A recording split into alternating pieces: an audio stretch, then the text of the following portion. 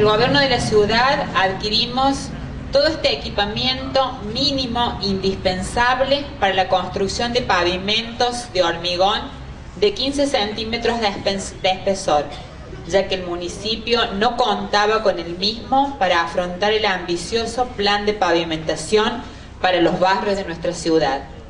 Este trabajo será realizado con mano de obra especializada del municipio en el mes de junio daremos inicio con este plan en Barrio Ardiles, construyendo tres cuadras en la calle 17 de octubre, comprendidas entre la calle Hipólito Irigoyen y la avenida Iría.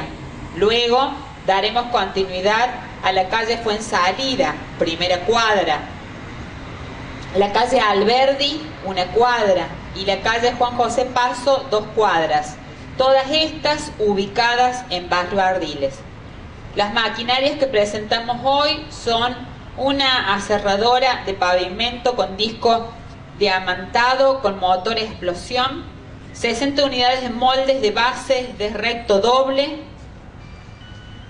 30 unidades de moldes de cordón recto, un juego de molde de base curvo, un juego de molde de cordón curvo, una regla vibradora con motor explosión, un fretacho de aluminio, dos carretillas reforzadas, 100 metros de mallas de seguridad, dos rollos de nylon para el, cuadra, para el curado del hormigón.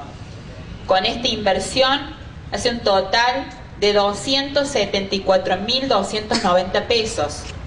Todas estas máquinas se suman a la flota municipal como lo venimos haciendo en este año y medio de gestión, que sumamos siete unidades nuevas motocicletas destinadas al área de tránsito, dos camiones con cajas volcadoras, un camión regador, una caja compactadora de residuos, tres tractores, dos desmalezadoras, una desmarcadora vial y una chipeadora.